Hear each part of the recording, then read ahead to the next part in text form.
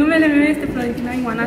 sunt uh, voluntar în cadrul Serviciului de Ambulanță București. Uh, vreau să vă vorbesc puțin despre experiența mea ca voluntar și de cum am luat contact cu școala pozițională Carol Davila. Uh, am luat contact cu școala și atât cu domnule profesoare când am fost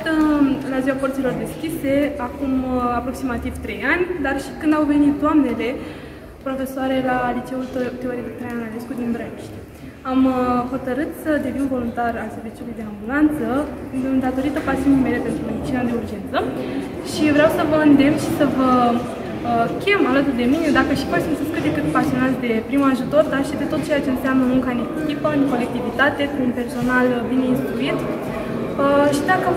sunteți pasionați de medicina de urgență.